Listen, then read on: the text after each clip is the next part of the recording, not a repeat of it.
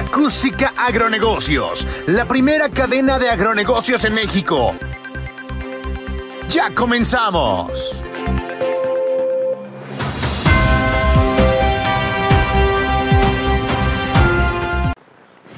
Muy buenos días amigos de Acústica Agronegocios, qué bueno que nos acompañan esta mañana, productoras y productores rurales que sintonizan este programa a través de las frecuencias de Grupo Acústica, en radio, en la zona metropolitana del Valle de México, en Guadalajara, en Monterrey, en varias ciudades importantes de los estados de Puebla, de Yucatán, también en el estado de Guerrero, en Sinaloa, en Sonora, en Chihuahua. Un saludo hasta donde reciban nuestra señal y también a quienes nos ven a través del canal 13 de TV Abierta la cadena Albavisión en la región sur-sureste del país y a quienes ven este programa en las redes sociales, en la página de Acústica Noticias.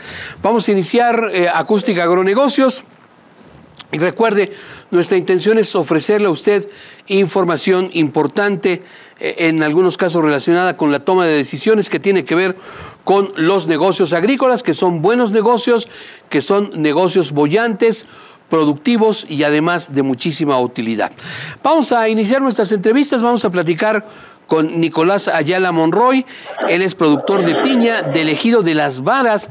Vamos al municipio de Compostela, allá en la costa Nayarita. Vamos a hablar de la producción de la reina de las frutas tropicales. Nicolás, muy buenos días. Muchas gracias por tomar nuestra llamada. Sí, buenos días. Gracias. Sí, gracias. sí. ¿Cuál es la reina de las frutas tropicales y por qué, Nicolás?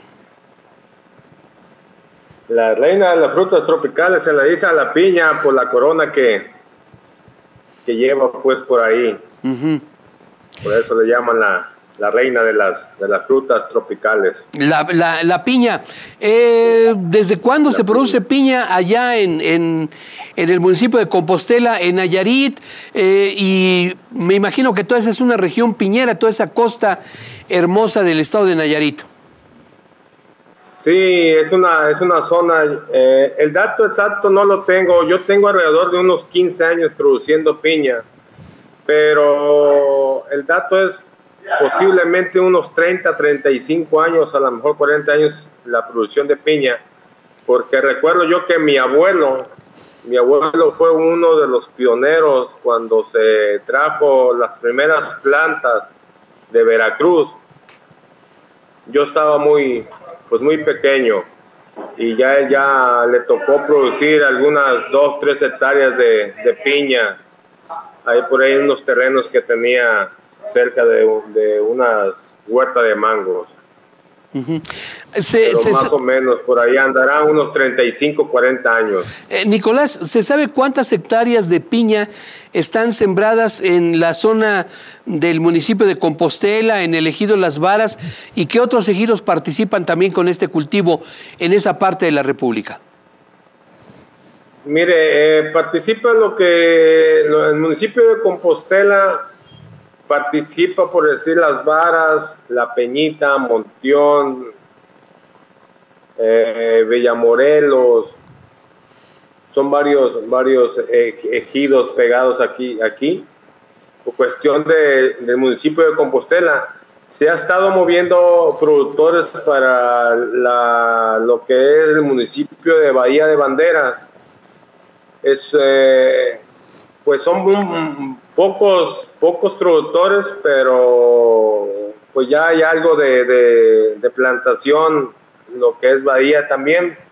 Posiblemente Bahía andaré en unas, en unas 200 hectáreas y lo que es aquí Compostela, pues a lo mejor andemos ya en unas 400, 500 hectáreas.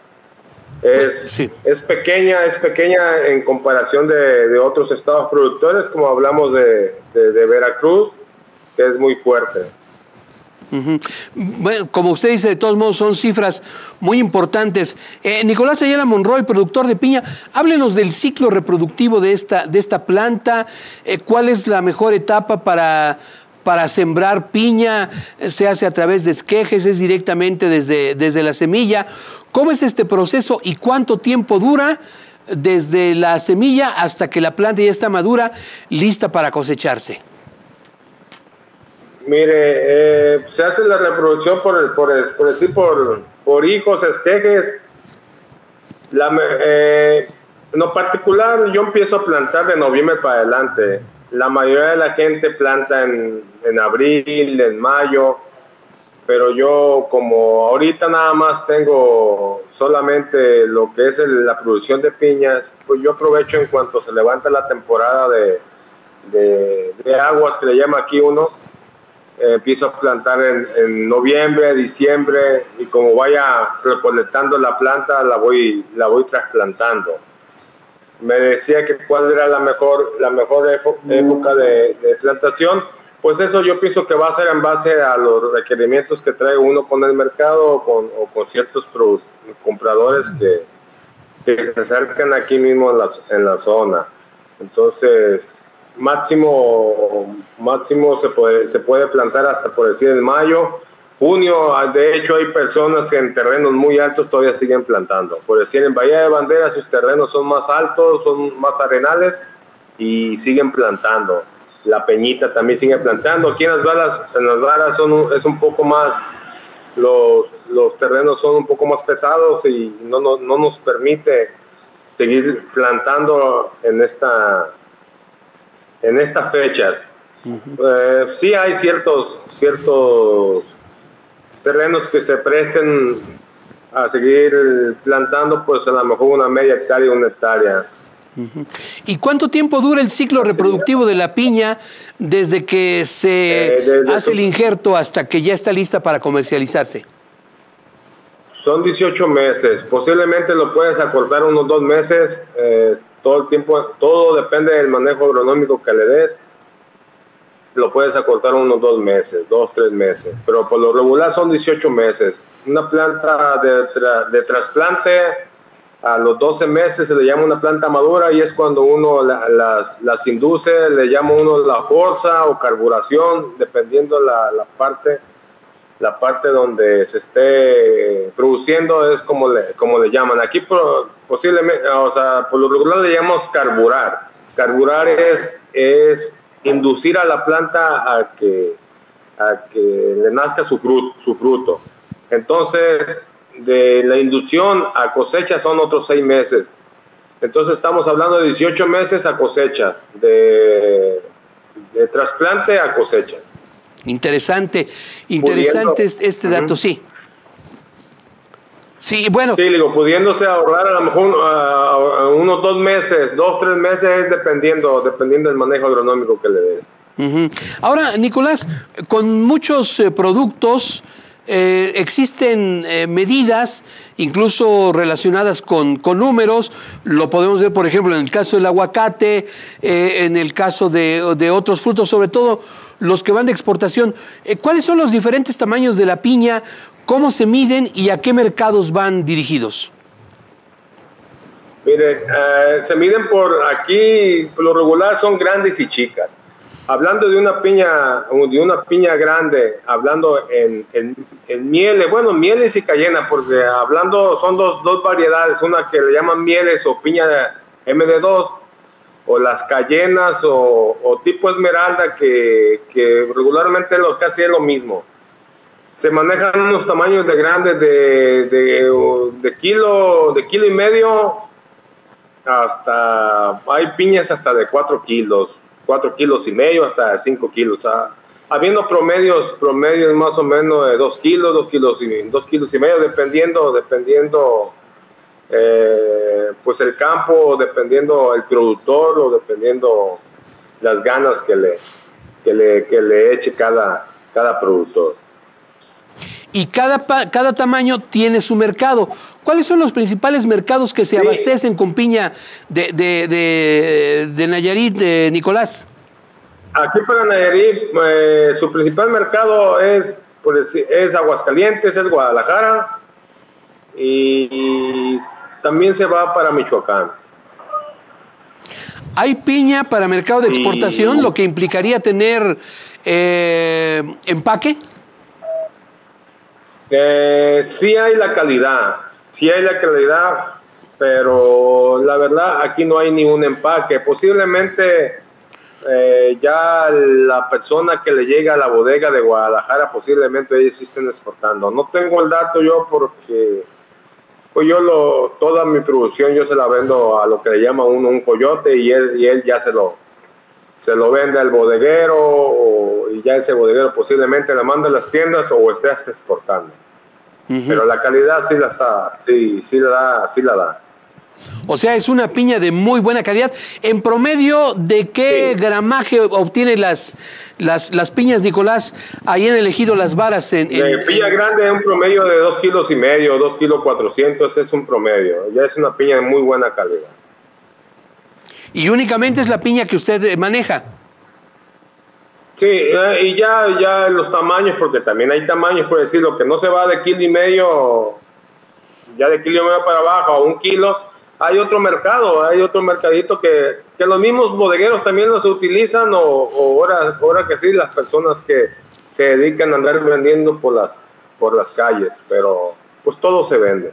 Todo se vende. Es decir, no hay, no hay merma, al menos que la, que la piña esté muy, muy dañada. Sí, o que traiga problemas, problemas, o sea, que, que se golpeó la, la, piña al momento de, de estarla cortando al, al, ponerla en la petaca, o, o que traiga por ahí un problemita de quemado de sol o cuestiones físicas. Ahora, durante estos 18 meses de ciclo reproductivo eh, de la piña, Nicolás, ¿qué labores culturales hay que tenerle a la tierra, hay que tenerle al, arbusto, al árbol? ¿Qué es lo que hay que hacer, sobre todo, por ejemplo, en materia de, fertilizar y control de plagas, enfermedades y malezas? Sí, yo eh, desde luego se hace una preparación del terreno. Yo estoy utilizando cintilla y plástico. A la hora de estar acolchando, yo, yo aplico un, un producto químico junto con fertilizante para control de plagas de suelo. Eh, la piña tiene mucho problema de problemas de gallina ciega, que se le llama comúnmente, y de, dependiendo de los terrenos, pueden tener también otro tipo de, de, plagas, como lo que es comején o, otras plagas de suelo. Entonces, se hace la preparación, se hace el acolchado, plástico con cintilla, y de ahí eh, se, hace la plantación. Nicolás, perdón, perdón que lo interrumpa en este instante. Tenemos que ir a escuchar a los patrocinadores del, programa y ahorita nos siguen platicando porque ese es un, tema importante, este que estamos eh, eh, abordando de, control de plagas y enfermedades. Gracias Nicolás Ayala, productor de piña en el ejido Las Varas, en el municipio de Compostela, en Nayarit. Está usted en Acústica Agronegocios. Vamos a una pausa y continuamos con más en este programa. Continuamos en Acústica Agronegocios. Y seguimos adelante, amigos de Acústica Agronegocios, qué bueno que nos acompañan y recuerden que este programa es patrocinado por Mecatec, Mecanización Inteligente, que siempre tiene una propuesta interesante para pequeños y medianos productores rurales en toda la República Mexicana. Consulte usted nuestras redes sociales para que tenga usted eh, datos pormenorizados de eh, la maquinaria, el equipo, los insumos, las refacciones que tiene nuestra empresa para satisfacer sus necesidades. Bien, vamos a seguir platicando con Nicolás Ayala Monroy, productor de piña del ejido de Las Varas en el municipio de Compostela. Eh, Nicolás, hablaba usted de la, importancia que tiene el acolchado en el terreno. ¿Por qué es importante el, el acolchado, eh, perdón? Y eh, síganos hablando del control de plagas y enfermedades, sobre todo de esta famosa gallina ciega. Sí, primero, primeramente el acolchado y por el sistema de riego por goteo se está utilizando por la escasez del agua. Desde luego, pues con el mismo acolchado plástico tienes, tiene mejor, mejor protección para cuestión de, de, malezas y sobre todo, sobre todo es para, para por la falta de agua que cada vez se ve más menos menos menos o sea, más bien tenemos mucho problema ya con el agua. Hay que aprovechar hasta la última bota y el acolchado de alguna manera lo garantiza. Sí. sí.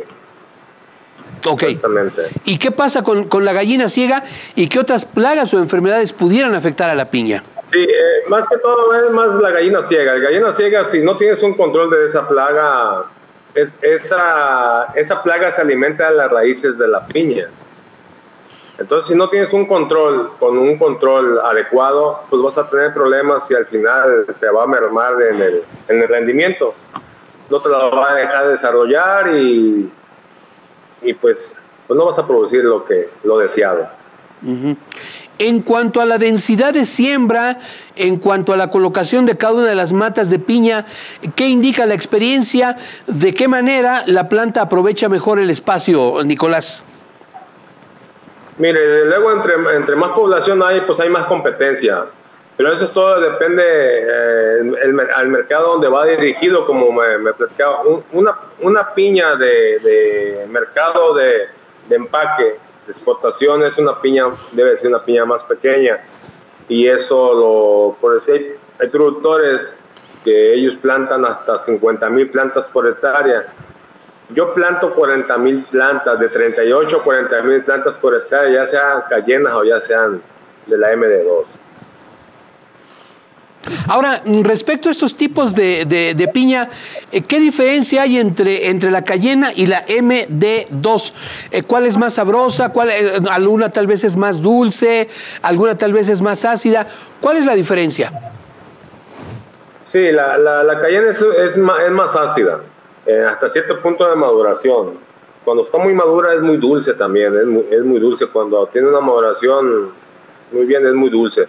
Y la miel también eh, eh, le llaman piña miel, por lo mismo, por lo dulce, pero sí es un, un, son sabores diferentes. Son sabores diferentes y es dependiendo al mercado. Hay mercados que quieren la pura MD2, la miel, y hay mercados que quieren la cayena. Así es que ahora, eh, que sí, pues es, es, en, es en gustos o, pues no sé, últimamente se, ha estado, la demanda se ha cargado más para la, para la MD2. Para la famosa piña miel. Esa es la, que se usa. Piña miel. Esa es la que se usa en los tradicionales eh, tacos de trompo que consumimos los, los chilangos. y que es, indispensable. si no lleva piña, no es este taco al pastor. Eso es indiscutible. No está con el pastor. Exactamente. Y esa es la que se utilice y, y por lo regular en las tiendas, en las tiendas reconocidas es la que se ve que está de venta. Sí, correcto. Ahora, eh, eh, Nicolás, ¿Hay problema para la comercialización de la piña? Usted mencionaba que, bueno, no sé si sea bueno o malo, ya nos lo dirá usted, pues tiene que tratar con el intermediario o coyote, como se le conoce popularmente. ¿Es la misma situación de todos los productores de piña a lo largo de la costa de Nayarit, desde Bahías de Banderas, límites con Jalisco, pues hasta prácticamente Sinaloa? Eh, sí, es que eh, la comercialización todo es, depende como todo cultivo, como todo producto de oferta y la demanda. ¿Verdad? Entonces nosotros dependemos mucho de que si hay precio o no hay precio de Veracruz. Y Veracruz, hay una temporada, por decir, por lo regular, eso, en este tiempo es cuando, cuando Veracruz saca mucha piña, está sacando mucha piña y satura los mercados y, y sí le batalla a veces un poco uno para vender este año no es el caso, este es el año, no sé qué le pasó a Veracruz, creo que tuvo problemas con las, las altas temperaturas y tuvieron muchos problemas con su fruta. Y la sequía, me imagino. Pues, ¿Mandé? Y la sequía, me imagino que también afectó a la producción de Veracruz. bueno, por lo regular allá en, Veracruz, pues casi todo es, pues es raro el que tenga, solamente los productores fuertes que tengan sistema de riego. Así es, por lo regular es todo lo que, lo que le lo que le cae del cielo, pues. Ahora, sí. Nicolás, eh, ¿cómo ha sido el régimen de, lluvias en Nayarit? ¿Qué tan afectada se vio la entidad por esta sequía que pues nos devastó la producción agrícola, principalmente en el centro del país y en el noroeste, allá para Sinaloa, para Sonora, para Chihuahua, todo el centro de México, Querétaro, Hidalgo, Morelos, la Ciudad de México, eh, Guerrero, Oaxaca, todo el centro y el sur se vio muy afectado por la sequía. ¿Cómo la pasaron ustedes en Nayarit? Eh, la temporada pasada sí, sí fue muy seco. Este, esta temporada inició muy bien. Eh, yo me atrevo a decir que en milímetro ya ha llovido hasta ahorita lo que no llovió toda la temporada pasada. Entonces ahorita parece que, está lloviendo bastante bien. Los, esperemos que pues aquí se le va, se deja de llover hasta el septiembre o octubre, entonces apenas vamos casi a mitad, a mitad y, y ha, ha llovido bastante. Esta temporada parece que, que va a estar muy bien. Los llamados fenómenos hidrometeorológicos extremos, ciclones, huracanes, de los cuales la costa del Pacífico y Nayarit no están exentos, ¿les, les preocupa eh, un ciclón pudiera devastar la producción de piña en Nayarit y otros estados? Eh, no sé si en otros estados. Aquí, gracias a Dios, no nos, no nos afecta un huracán, nunca nos ha afectado posiblemente por como está o sea, estamos geográficamente eh, establecidos, no, no nos, nunca nos ha perjudicado un, un, huracán, pues así como, como tal. Claro. Ahora, Nicolás Ayala, hablemos de, otro tema, eh, la transformación de la piña. Eh, hay mucha piña enlatada, es una opción para los productores de piña agregarle valor a la, producción primaria, además del producto enlatado. ¿Qué otras presentaciones existen de piña en beneficio de los consumidores? Miren, aquí en la, región la verdad que nadie la ha industrializado. Aquí todo se ha vendido en, fresco directamente para las bodegas.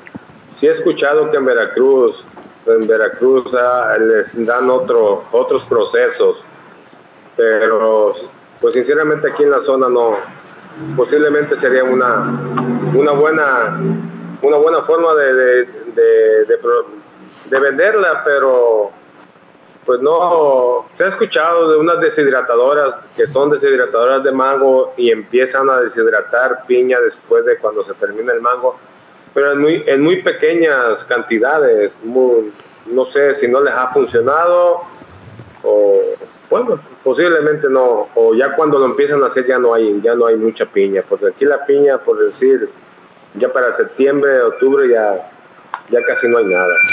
¿Tenemos producción de piña a lo largo de todo el año? No. Aquí, aquí por lo regular es de, de, junio a, a septiembre, octubre. Uno que otro productor que sí logra tener un poquito más, pero es en muy, pequeña, en muy pequeña escala. Y entonces la piña se cosecha de, de, junio a septiembre, octubre, precisamente por todo su ciclo reproductivo. Y, ah, pero habría manera... aquí en Nayarit. En Nayarit, perdón, sí. ¿Habría manera de ir programando el cultivo de piña para tenerla a lo largo de todo el año o las propias características de la planta no lo permitirían? No, sí se permite. De hecho, hay un productor de, de Montión que él sí está produciendo un, más, más, más tiempo.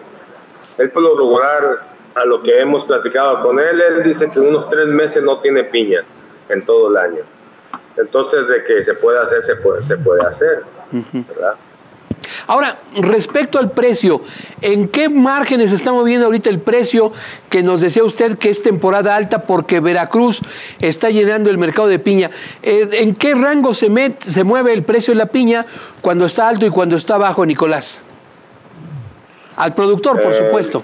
hablando de, las, de, las, de, las, de la MD2, las mieles, esa, esa, esa piña por lo regular se maneja aquí en el campo.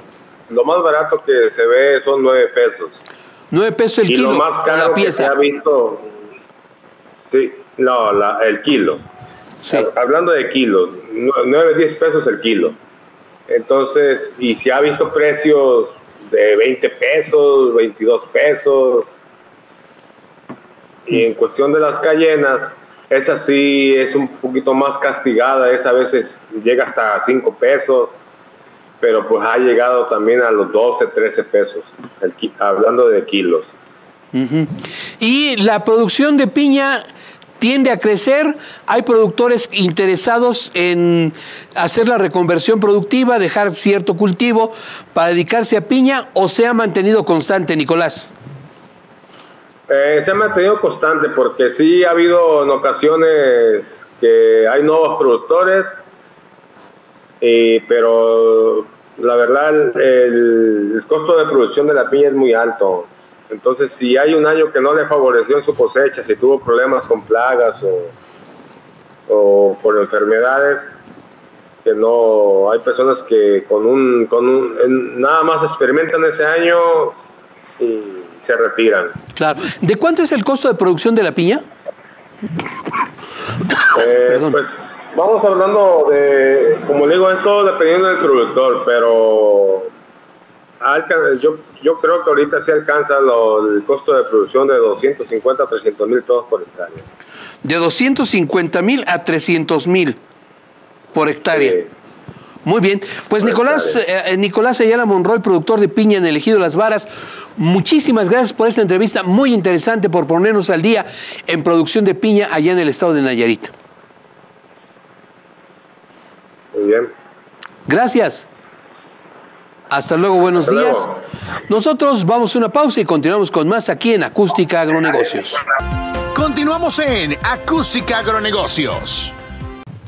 Muchas gracias, muchas gracias amigos de Acústica Agronegocios por acompañarnos. Recuerden que este programa es patrocinado por Mecatec Mecanización Inteligente, que siempre tiene una propuesta atractiva para pequeños y medianos productores rurales de la República Mexicana con maquinaria y equipo especializado en superficies, incluso aquellas en donde el trabajo se vuelve difícil porque se trata de laderas, porque son sitios muy pedregosos y muchos motivos más que existen y que caracterizan a la producción agrícola mexicana. Así es que los invitamos a que visiten nuestras redes sociales, a que se pongan en contacto con nuestros especialistas para que tengan detalle de la oferta que ofrece a ustedes Mecatec. Bien, seguimos adelante con nuestras entrevistas y me da mucho gusto saludar al doctor Alberto Uc Hernández, especialista en economía, que siempre está muy atento a aquellos aspectos finos que tienen que ver con lo relacionado con las finanzas del campo. Hay un tema que eh, me comenta Alberto, es oportuno tratar en este momento y tiene que ver con todos estos mecanismos relacionados con el acceso al crédito, con el acceso a garantías, con el acceso a seguros principalmente de pequeños, medianos y grandes productores rurales. El crédito, el crédito, las garantías, los seguros han sido el gran talón de Aquiles de la producción agrícola a lo largo de los últimos seis años. De hecho, ya nos comentará nuestra especialista, ya se decretó la, eliminación total de la Financiera Nacional para el Desarrollo. Alberto, ¿cómo estás? Muy buenos días. Muy buenos días, José Luis. Kiko, el gusto de siempre saludándote y saludando a todo tu, auditorio. Gracias, Alberto. Pues hablemos de este talón de Aquiles, reitero, de la producción agropecuaria en México. El acceso a, créditos, que este tenga garantías eh, aceptables para, las partes, toda la cuestión que tiene que ver con el aseguramiento, más en estos tiempos de incertidumbre, Alberto. Eh, muy bien, mira, en primer lugar, mira, señalar de que el que en México no tengamos un sistema rural, un sistema de financiamiento rural y agrícola completo, pues es una de las grandes debilidades, aun cuando México, como hemos señalado, es una potencia agroalimentaria. No podemos, no, podemos perder de, de foco el hecho de que el financiamiento agrícola, el financiamiento rural tiene que llegar a la agricultura. Y aquí, mira, un, un primer aspecto que me gustaría aclarar y que el público que nos escucha pudiésemos, pudiésemos entender de qué estamos hablando. En una charla anterior hablábamos que es muy diferente hablar de desarrollo rural y desarrollo agrícola. Es exactamente lo mismo con el financiamiento rural. El financiamiento rural tiene que ver con todos los, los temas que se den en el medio rural, es decir, debe incluir la educación, la salud, la vivienda, la infraestructura eh, social, parques, jardines, panteones, carreteras, o sea, todo esto tiene que ver con el financiamiento rural. Una parte del financiamiento rural tiene que ver con el financiamiento agrícola, que es en donde creo que México, y lo hemos señalado no de ahora, desde hace ya muchos años, hemos estado estudiando el tema, es el hecho de que se tiene que hacer una, una gran diferenciación entre el financiamiento rural y financiamiento, y financiamiento agrícola. Ahora mira, en, estudios que se han hecho, y en, los cuales yo he participado en algunos de ellos, se demuestra que el, el crédito agrícola es muy efectivo para disminuir la pobreza en el medio rural y también ayuda eh, mucho más que cualquier otra estrategia aliviar el problema de la pobreza en el medio urbano. ¿Esto por qué es así? Porque en la medida en que el productor sea más eficiente, va a producir más barato y por supuesto sus productos pueden llegar al, al medio rural, al, medio urbano mucho más baratos, beneficiando a las clases más pobres, que son las que, las que utilizan una mayor proporción de su ingreso en la compra de alimentos y lo que producen los campesinos en cualquier parte del mundo pues son, son alimentos. Entonces, dicho esto, pues quisiéramos eh, plantear un, eh, un poquito qué es lo que ha sucedido con el, con, el crédito rural en, en, nuestro país y con el crédito agrícola. Nuestra historia es una historia relativamente eh, antigua en términos económicos. El Banco Rural el primer Banco Rural se funda en 1921, se transforma en 1937, pero el supuesto de, tener una institución financiera rural era algo que es sumamente obvio. Después de la revolución decíamos, de nada sirve darle la tierra a los campesinos si no tienen recursos para moverlos. Claro. Imagínate, el día de hoy para trabajar 10 hectáreas de maíz necesitas tener el guardado por lo menos 100 mil pesos. Y eso nada más para pagar semilla, para pagar los, los insumos que vas a requerir, la renta de la maquinaria, no para cobrar la mano de obra del campesino que se está invirtiendo.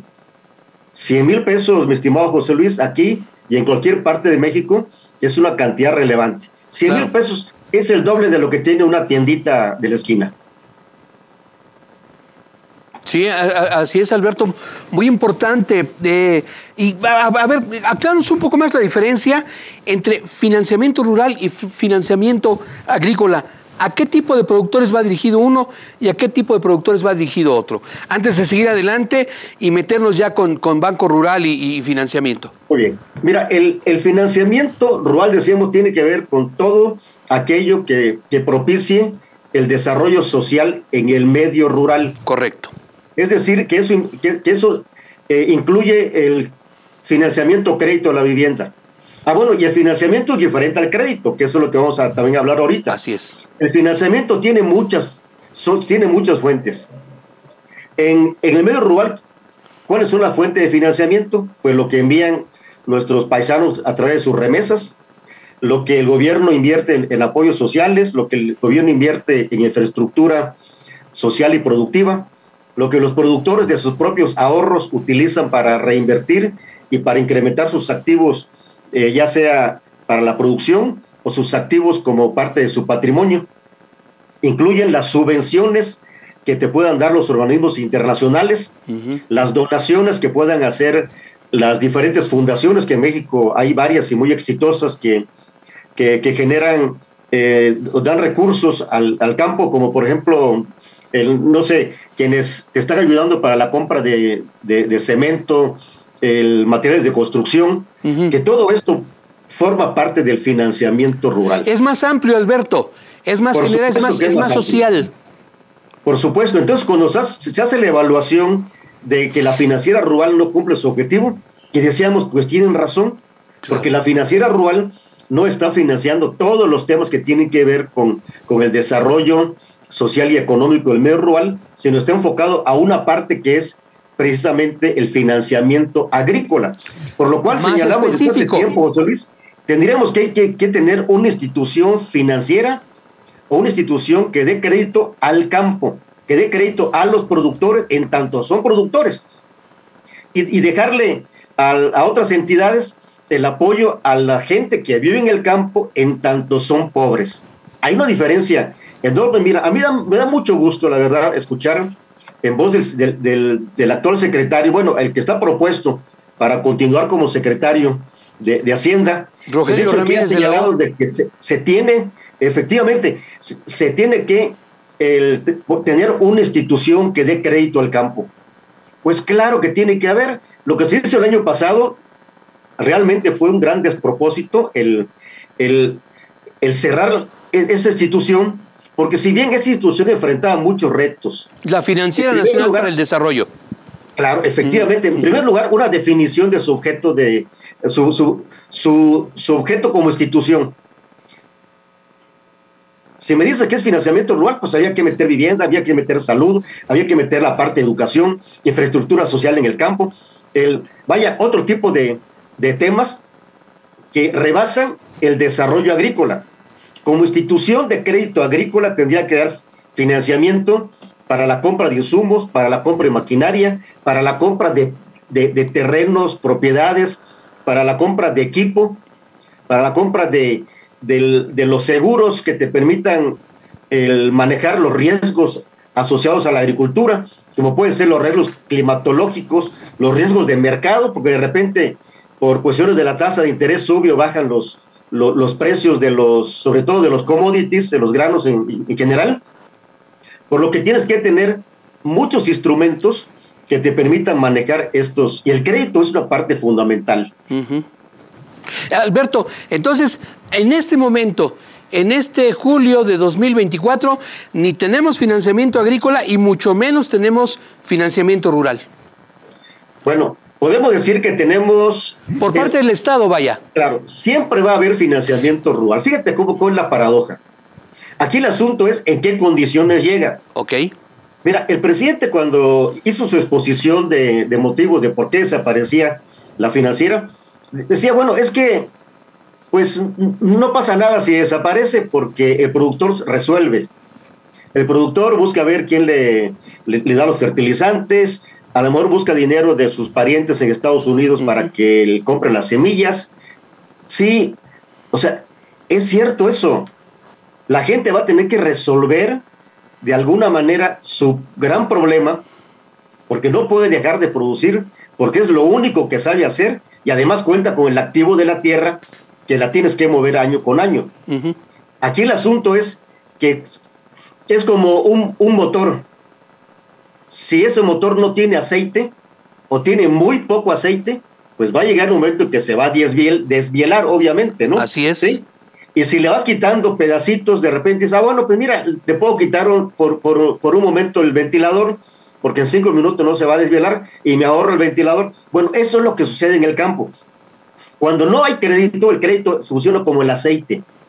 Entra por todas las partes de la, de la producción agrícola y hace que la producción sea más eficiente. Porque entonces, si yo sé que tú, que tú tienes acceso al crédito, y, en, mi caso soy, soy vendedor de fertilizantes, pues te puedo adelantar los fertilizantes y me los pagas porque tengo la certeza de que vas a tener dinero en un tiempo razonable para adelantarte los insumos. Pero si tengo la certeza de que no tienes, de que no tienes crédito, entonces no te adelanto los insumos o te los doy, pero con un precio elevado porque tengo que manejar también mis riesgos. Entonces, es una falacia realmente el, el pensar de que el crédito no funciona. Ahora mira, yo Alberto, bueno. Perdón, perdóname que te interrumpa. Tenemos que ir a una pausa. Permítenos unos segundos, por favor, y eh, seguimos, seguimos conversando en torno a la importancia que tiene precisamente el crédito rural y de ahí, para aprovechar el tiempo, a ver si podemos eh, derivarnos sobre todas las cuestiones de las garantías, que ya ves que eso acaba a los productores rurales cuando dicen sí tienes crédito, pero hay garantías. Regresamos enseguida. Continuamos en Acústica Agronegocios. Seguimos adelante, amigos de Acústica Agronegocios, platicando con el, doctor Alberto Uc Hernández. Él es especialista en finanzas eh, agropecuarias. Y bueno, eh, nos quedamos en una parte importante, Alberto. Ya llegamos al crédito. ¿Qué pasa con el crédito? Síguenos comentando. Muy bien el crédito, el, crédito entonces tiene, hay, ya hay una larga historia en México. Decíamos cómo empieza, se, va, desarrollando el sistema rural, desaparece por, por problemas que se habían generado, se crea la financiera rural y cuando se crea, lo que señalamos es que nació incompleta. No hay ningún banco en el mundo que pueda ser exitoso si únicamente da créditos y no recibe, y no recibe depósitos. Porque el principio del crédito es agarramos el dinero de quienes no corren riesgos, que lo ponen en el sistema financiero, y, le damos un premio por, por, dejar su dinero, pero para que yo le pueda dar el premio necesito alguien que, que, que, tome el riesgo, en este caso los productores agrícolas, vía crédito y por lo cual tienen que pagar una tasa de interés. Pero si la institución financiera no capta ahorros, entonces no tiene ni siquiera información correcta de sus clientes. Bueno, durante toda esta época, fíjate, y aquí quiero hacer referencia a un estudio que hice ya hace algún tiempo, no mucho realmente, encontramos lo siguiente. Mira, porque hay un indicador que le llamamos la penetración financiera rural. Lo que nos encontramos es de que históricamente hablando, fíjate, históricamente hablando, es decir, en los últimos 50 años, incluyendo los, los 24 de este, de, de este siglo, los estados que han tenido menor penetración financiera. ¿Cuál es la penetración financiera? Bueno, es qué tanto de financiamiento en, en, en, relación al Producto Interno Bruto Agrícola de cada estado. Los estados con la menor eh, penetración financiera son Guerrero, son Oaxaca, el Estado de México, Hidalgo. Con penetración financiera baja está Tlaxcala, Veracruz, Sinaloa. Y los que tienen mayor penetración financiera, pues son Sonora, Sinaloa, Tamaulipas y Nuevo León. Con esto, mire, prácticamente lo que estamos diciendo, podemos ver que los estados con menor penetración financiera son los estados más pobres. Y los estados con mayor penetración financiera son los estados más ricos. Esto muestra que, el, que la hipótesis que planteaba al principio de que el crédito ayuda a aliviar la pobreza, pues está muy claro en nuestro país. Alberto, explícale por favor al auditorio qué debemos entender por penetración financiera rural, cuáles serían sus principales características y por qué en Nuevo León sí y por qué en Guerrero no. Por mencionar unos estados. analizamos el volumen de crédito. ¿sí? Vamos a suponer que lo que producimos son eh, un millón de, pesos, ese es el Producto Interno Bruto agrícola de un estado. ¿Ok? Pero resulta que únicamente le damos el 100 mil pesos de crédito. 100 mil entre un millón quiere decir que la penetración financiera es del 10% del valor del Producto Interno Bruto. Bueno, en Estados Unidos la penetración financiera es cercana al 90%. Es decir, de cada dólar que se invierte en la agricultura, 90 centavos de dólar son vía crédito. En México, hasta hace el, hasta que desapareciera la, la financiera rural, la penetración financiera rural con los pequeños productores era cercana al 4%. O sea, una brecha enorme entre México y, y, Estados Unidos. Y con la desaparición de la financiera rural, bueno, nada más queda lo que FIRA está eh, otorgando a los grandes productores y la penetración financiera actualmente está cercana al 2%, lo cual lo hace totalmente insuficiente. Porque miren, el, si nosotros quisiéramos, dijéramos, tener un comparativo de qué, es, de qué es lo que tendríamos que hacer en materia de, de financiamiento y de crédito rural, pues yo creo que no hay que eh, tratar de investigar mucho. ¿Por qué Estados Unidos da 90 centavos de crédito por cada peso que se invierte en, en el campo? Porque parte, en primer lugar, Estados Unidos tiene una, tiene una claridad, fíjese, en sus políticas públicas, cuando habla de las políticas públicas agrícolas. El, Departamento de Agricultura de, Estados Unidos tiene un programa específicamente para, para, los préstamos para los préstamos agrícolas y lo señala muy claro. Esto es para fomentar el desarrollo agrícola en Estados Unidos. Créditos para la compra de propiedades que, que, que te dan facilidades para que los pagues en 40 años créditos para poder comprar insumos, que pueden ser multiciclos, te dan chance para que lo puedas, puedas tener hasta durante siete años, créditos para, para reponer la infraestructura que tienes ahí, tus bodegas, tus tractores, que, mínimo te dan 15 años para pagarlos y hasta 40 años para, para pagarlos. Vaya, si Estados Unidos es una, es, es una gran potencia y, y, y es un, y, y es una potencia que recibe una cantidad impresionante de mano de obra. Quienes, quienes, eh, quienes emigran a la Unión Americana una proporción muy importante para trabajar el campo estadounidense. ¿Y por qué pueden trabajar? Pues porque el motorcito este de la, de la producción agrícola en Estados Unidos tiene el aceitito del, del, crédito agrícola que hace que los productores digan, sí, no importa, yo, estoy, yo, yo, le puedo arriesgar porque sé que hay una institución que me está, que me está respaldando. Mira, ¿tienes, ¿tienen idea, José Luis, cuánto cuesta producir una hectárea de papaya? No, no tengo idea. Actualmente necesita más de 350 mil pesos por una hectárea. Para producir 10 hectáreas necesitas tener más de 3 millones de pesos, con todos los riesgos que ello implica. Así es.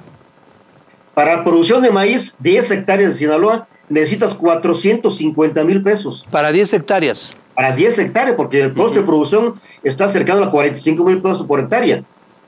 O sea, el campo requiere, requiere necesariamente, por eso estoy de acuerdo con el secretario, se tiene que eh, instituir una institución financiera que dé crédito agrícola, cuya misión sea precisamente el generar eh, los escenarios para que el productor tenga los recursos y compre los fertilizantes a tiempo, pueda pagar la asistencia técnica, pueda pagar, por supuesto, los servicios para que maneje los riesgos climatológicos a través del seguro agrícola, pero también para que puedan comprar las coberturas de precios, porque Exacto. el, porque esto es un riesgo adicional y, lo vimos hace, hace, poco con el problema que había en Sinaloa, Sonora, Tamaulipas por el precio del, trigo y, del maíz, que, si, que bien cae, no porque los productores hayan producido mucho.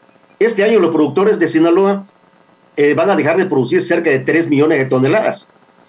Lo lógico sería que si hay menos oferta, pues el precio se incremente. Claro. Pero, pero lo que vemos es no, disminuye la oferta y, también disminuye los precios porque estamos entonces importando más maíz.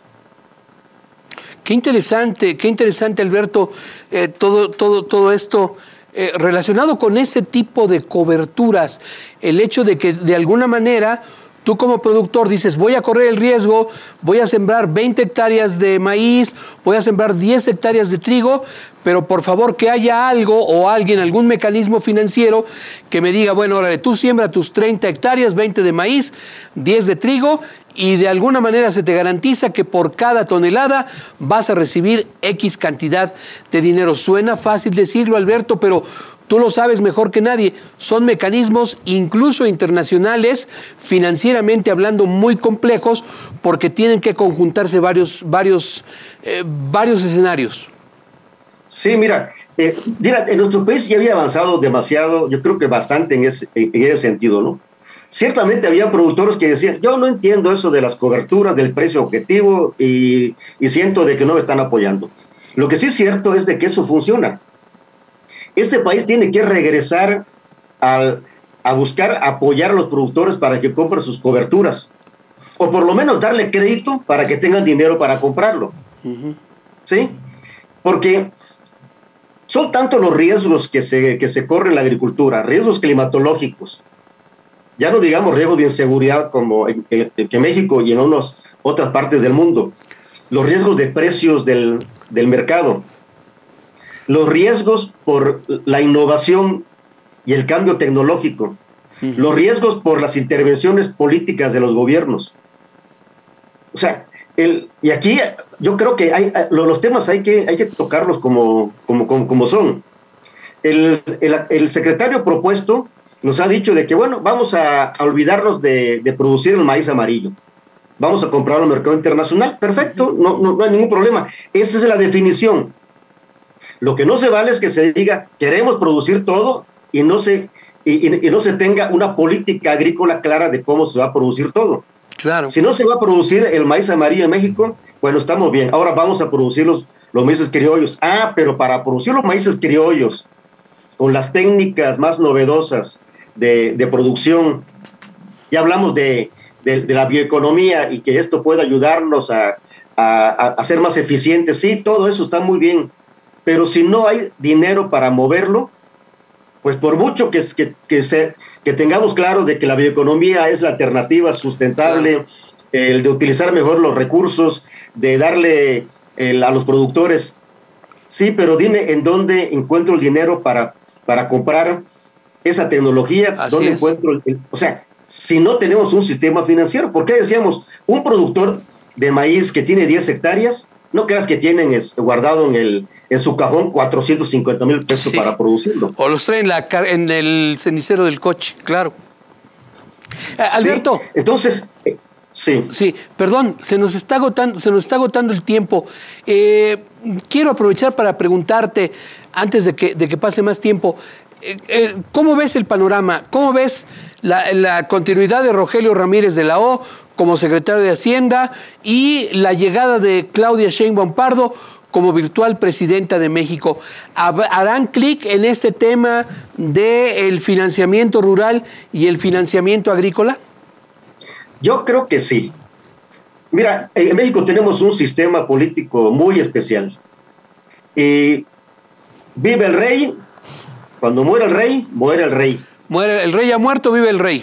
Porque así es, porque en México son seis años. Y, bueno, hay muchos estudios y muchas publicaciones al respecto.